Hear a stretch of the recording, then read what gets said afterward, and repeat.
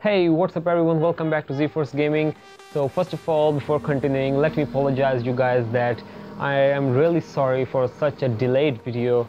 So actually, I've been admitted to the MBBS classes and I'm becoming a medical doctor. So it's really, really hard to keep up with the studies and to pursue my uh, YouTube career at the same time.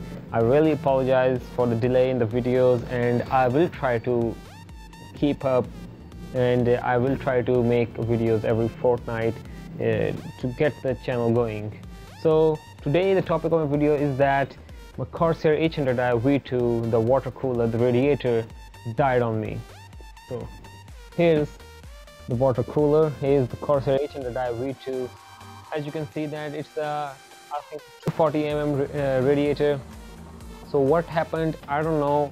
Uh, it's been like two years uh, continuous two years I'm using this cooler and uh, suddenly it stopped working. I mean, uh, that I, how I noticed that uh, it, it's a really, really you know confusing because I, at first I didn't realize that it was a cooler. I actually changed the thermal paste because I was getting a slightly higher temperature. Uh, like uh, on idle state, uh, my computer temperature was like 25 or 20 8 Celsius uh, with an ambient of 20 or 22.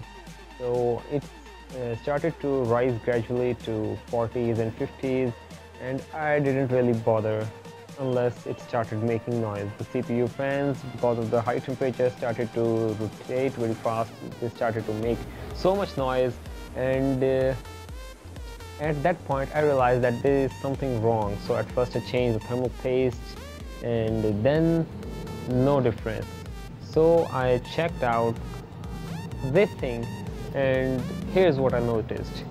So uh, the pump is working fine and uh, there is no leakage in the whole area and whenever this is running I whenever I put it close to my ear I actually uh, hear the sound of the pump and the water flowing.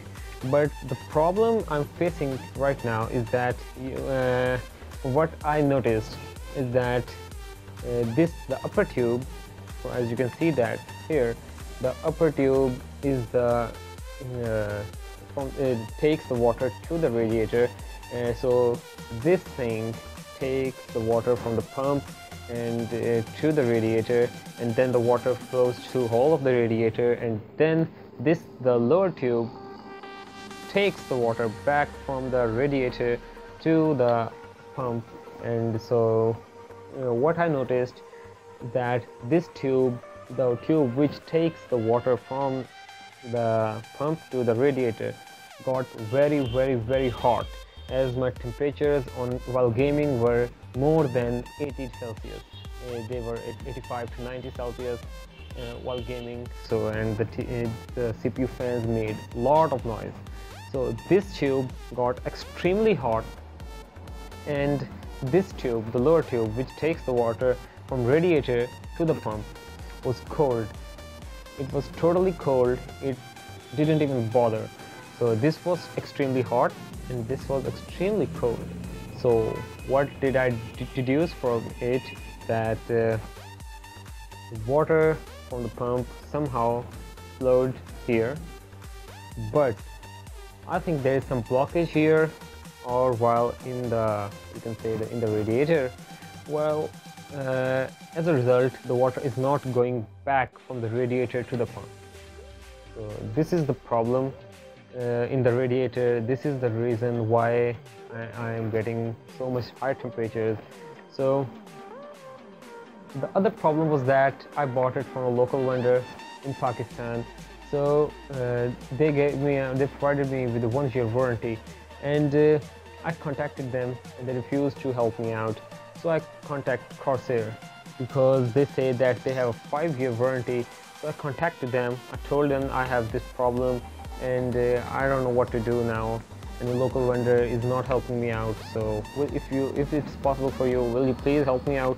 They asked me for the lot number and the serial number and whatever and the invoice from the merchant. I purchased this and then my RMA was approved they asked me to ship this defective unit back to them. So uh, actually they're providing me with two options. Actually the first option is that they are saying me that I should uh, ship this item this faulty item back to them and they will inspect it. And if there is some problem with the unit they will replace the unit and send it back to me. And the other uh, uh, option they are sending me uh, they're telling me is that they are sending the replacement first and they will charge my credit card on it. And in the meantime this will reach them and then they will check if there is some fault in it or not. And if there is some fault then they will reverse the charge on the credit card. So uh, I opted for the first option and I am sending this faulty unit to them first because at this time I'm using a simple air cooler uh, from Cooler Master. It's Hyper A, uh, 1 or 2 I guess. As you can see that that simple cooler thing going on. Well, that's all for you uh, for now guys. Uh, just I just want your opinion that uh, it, does your Corsair unit H100i or any of the Corsair radiator show the same problems or not? Does it uh, pump expire or stop working or whatever the reasons are? I don't know, but uh, uh, you're you